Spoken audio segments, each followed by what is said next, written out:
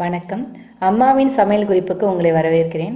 அம்மாவின் சமையல் குறிப்பில் இன்னைக்கு இட்லி சிக்ஸ்டி ஃபைவ் எப்படி பண்ணுறதுங்கிறத சொல்கிறேன் இதுக்கு தேவையான பொருள்கள் இட்லி ஆறு கடலை மாவு சிறிதளவு மிளகாய்த்தூள் சிறிதளவு பெரிய வெங்காயம் ரெண்டு தக்காளி ரெண்டு உப்பு தேவையான அளவு ஜீரகம் சிறிதளவு எண்ணெய் தேவையான அளவு இஞ்சி பூண்டு விழுது ஒரு ஸ்பூன் மல்லித்தழை சிறிதளவு.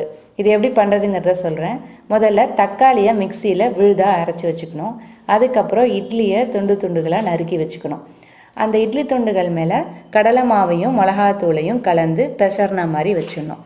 அதுக்கப்புறம் வானலியில் எண்ணெய் விட்டு இந்த இட்லி துண்டுகளை பொறிச்சு எடுத்துக்கணும்.